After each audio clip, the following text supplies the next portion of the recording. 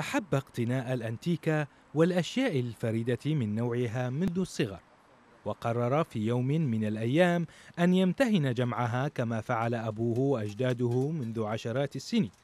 هو فرسة محمد خمسيني قضى عشرات السنين في حب هذه المهنة التي ورثها عن أجداده الذين علموه أيضا اختيار واقتناء السجاد الفاخر بأنواعه المختلفة. والدي وأعمامي كانوا يشتغلون بالأنتيكات.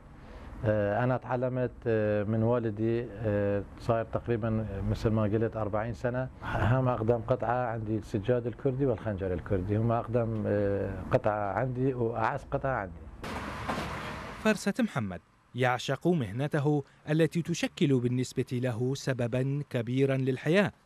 ويأمل بأن يكمل أبناؤه من بعده مشواره الذي بدأه مع هذه الهواية التي تحولت عنده بمرور الزمن إلى مهنة يعتاش منها. وإن شاء الله راح أبقى بهاي المهنة وأريد أولادي همينة يشتهرون بهاي المهنة ويكون أفضل مني.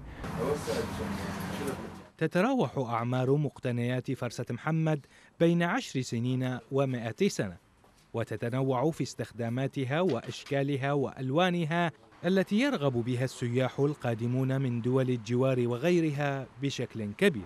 هذا تاريخ ما ينسي. هذه الآثار ما ينسي. ظل تاريخ. يجون أجيال بعدنا يظل عندهم تاريخ. نحن نشجع هذا الشيء يكون موجود. أخبار كلش زين عليه. من الأجانب من العراقيين من دول عربية يجون يستقبلون هذا الشيء. وبقدر ما تشكله الأنتيكات من قيمة معنوية وجمالية لدى هواة جمعها واقتنائها.